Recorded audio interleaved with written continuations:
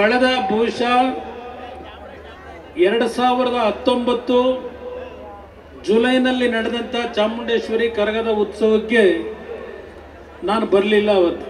ಕಾರಣ, ಅವತ್ತಿನ ದಿನವೇ ನನ್ನ ಅಧಿಕಾರವನ್ನು ಕುತಂತ್ರದ ಮುಖಾಂತರ ತೆಗೆದಂಥ ದಿನ ಏನಿದೆ.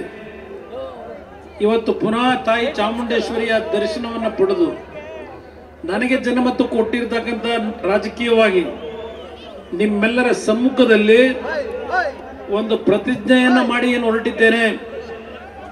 ಇಲ್ಲಿ ನನ್ನ ಒಂದು ಭಾವನೆಗೋಸ್ಕರವಾಗಿ ಒಂದು ಹಾಡನ್ನು ಹಾಡಿದ್ರು.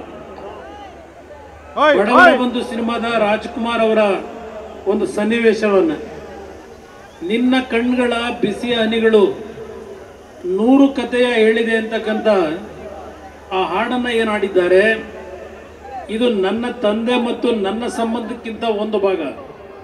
ನನ್ನ ಮತ್ತು ರಾಮನಗರದ ನನ್ನ ಬೆಳೆಸಿರ್ತಕ್ಕಂಥ, ನಿಮ್ಮ ಸಂಬಂಧದ ಒಂದು ಭಾವನೆ ಹಾಡು ಅಂತಕ್ಕಂಥದ್ದನ್ನ ಈ ವೇದಿಕೆ ಮುಖಾಂತರ ನಾನು ಹೇಳಲಿಕ್ಕೆ ಬಯಸ್ತೇನೆ. ಬಹುಶಃ ನಮ್ಮ ಯುವಕರಿಗೆ ನಾನು ಕೆಲವು ಎರಡು ಮೂರು ಹಾಡುಗಳನ್ನು ಆಡಿಸ್ತಕ್ಕಂಥದ್ದಕ್ಕೆ ಸೂಚನೆಯನ್ನು ಕೊಟ್ಟಿದ್ದೆ. ಕೆಲವರಿಗೇನಾದರೂ ಸ್ವಲ್ಪ ಬೇಸರ ಆದರೆ ದಯವಿಟ್ಟು ನಮ್ಮ ಯುವಕರಿಗೆ ಮನವಿ ಮಾಡ್ತೇನೆ. ನಮ್ಮ ಒಂದು ಸಂಸ್ಕೃತಿ, ನಮ್ಮ ಬದುಕು ಇರ್ತಕ್ಕಂಥದ್ದು ನಮ್ಮ ಹಳ್ಳಿಗಳಲ್ಲಿ. ಮತ್ತೊಂದು ಹಾಡನ್ನು ಆಡಿಸ್ಬೇಕು ಅಂತ ಹೇಳಿದ್ದೆ ನಾನು. ಹೋಗದರಿ ಸೋದರರೇ, ಹೋಗದರಿ ಬಂಧುಗಳೇ ಅಂತಕ್ಕಂಥದ್ದು. ನಮ್ಮ ಜೀವನ ಇರ್ತಕ್ಕಂಥದ್ದು ನಮ್ಮ ಹಳ್ಳಿಗಳಲ್ಲಿ ಅಂತ.